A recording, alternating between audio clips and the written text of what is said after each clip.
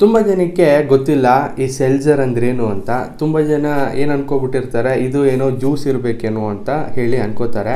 ಆ್ಯಕ್ಚುಲಾಗಿ ಹೇಳಬೇಕು ಅಂದರೆ ಇದು ಒಂದು ಆಲ್ಕೋಹಾಲಿಕ್ ಬಿವ್ರೇಜು ಈ ಗ್ರಿಸ್ಲಿ ಅಂತ ಈ ಹೊಸದಾಗಿ ಮ್ಯಾನುಫ್ಯಾಕ್ಚರ್ ಆಗ್ತಿರೋ ಸೆಲ್ಸರು ಮ್ಯಾನುಫ್ಯಾಕ್ಚರ್ ಮಾಡ್ತಿರೋರು, ಬೀರಾದವರು ಫ್ರಮ್ ಹೌಸ್ ಆಫ್ ಬೀರಾ ಇಂದ ಹೊಸದಾಗಿ ಲಾಂಚ್ ಆಗಿದೆ.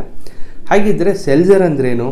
ಸೆಲ್ಸರ್ ಅನ್ನೋದು ಒಂದು ಜರ್ಮನ್ ವರ್ಡು. ಸೆಲ್ಝರ್ ವಾಸರ್ ಅಂದರೆ ಒಂದು ನ್ಯಾಚುರಲ್ ಮಿನರಲ್ ವಾಟರ್ನ ಇವರು ಸೆಲ್ಝರ್ ಅಂತ ಹೇಳಿ ಕರಿತಿದ್ರು. ಸೆಲ್ಟರ್ ಅನ್ನೋದು ಒಂದು ವಿಲೇಜ್ ಹೆಸರು.